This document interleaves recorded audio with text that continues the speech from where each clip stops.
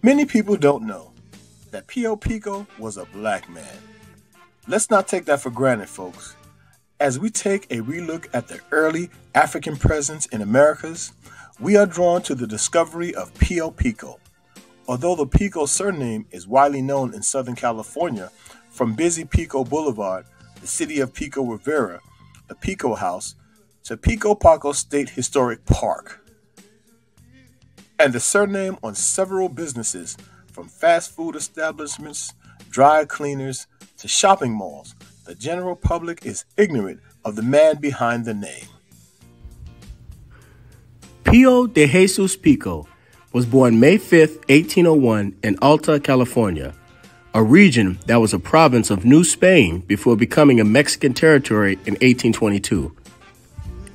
It's been more than 125 years since the passing of Pio Pico, a black Californio, the term used to describe Hispanic natives of the Californias.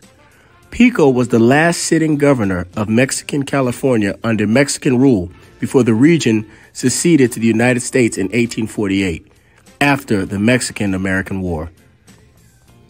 And today, we focus our lens on Pio de Jesus Pico whose imprint on Los Angeles was notable. He was one of the most influential black Mexicans with roots to the original pobladores. The Los Angeles pobladores, or townspeople, being a group of 44 settlers and four soldiers from Mexico who established the famed city in 1781 in what is now California. The settlers came from various Spanish castes, with over half of the group being of African descent. That bears repeating, with over half being of African descent or black. Pico's mother was a mulatta, a mixed person of African heritage. His father was a mestizo, a person of Native American and Spanish heritage. Keep in mind, many Aboriginal Native Americans and Spanish were black.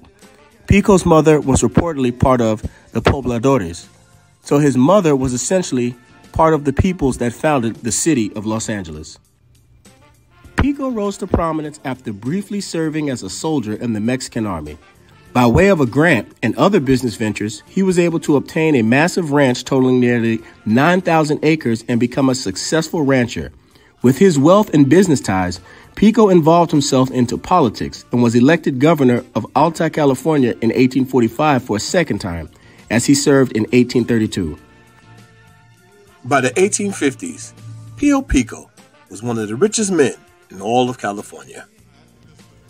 When the southerner Mexican territories were seceded to the United States, Pico fled to Mexico briefly but returned to Southern California and became an American citizen.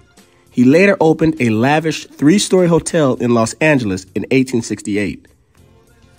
Mexico's 15th century assimilation of Spaniards, indigenous natives, and African enslaved and free gave rise to Black Mexico, eventually leading to the founding of Los Angeles by Black Mexicans and mestizos in the 18th century when California was still under the rule of Mexico. As with many things, the African presence in California and Los Angeles in particular had been hidden or ignored. But not today.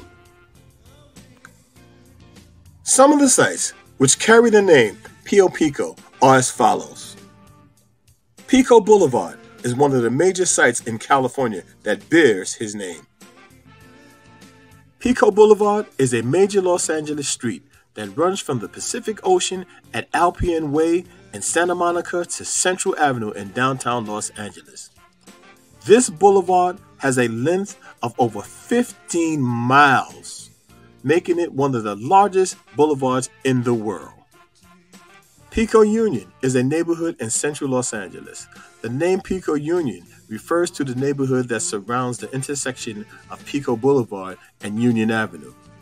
It's located immediately west of downtown Los Angeles and is home to over 40,000 residents.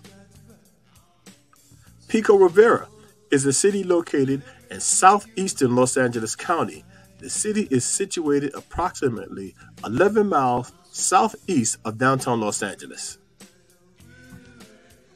There's also Pico House, a historic building in Los Angeles dating from its days as a small town in Southern California. There's also the Pio Pico State Historic Park, and this is a site in El Ranchito, also known as the Pio Pico Adobe or the Pio Pico Museum, the final home of Pio Pico.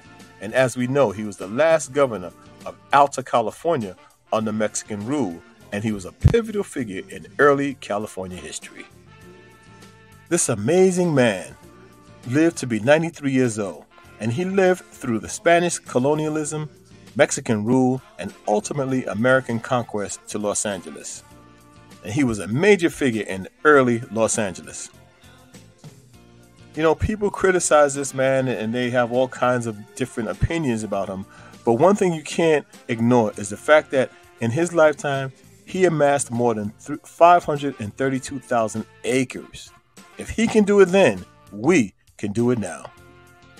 We would like to point out that oftentimes we'll see paintings of Pio Pico, like the one being presented here, and in this picture, he's racially ambiguous. But make no mistake about it, Pio Pico was a black man. Painting, portrait. When you do your research, you will see that in many publications, he's this man has been vilified. But you have to look at who's writing the narrative. You have to be careful. And to quote Malcolm, the press can have you loving your enemies and hating your friends. So you must be careful. We encourage everyone to do your own research and think for yourself. We don't say that we're right or wrong, but we're just presenting what we believe to be the facts. The Black Excellence and Abundance Channel where black history is every day. Thanks for watching. We ask that you please remember to like, comment, share, and subscribe. And remember, thou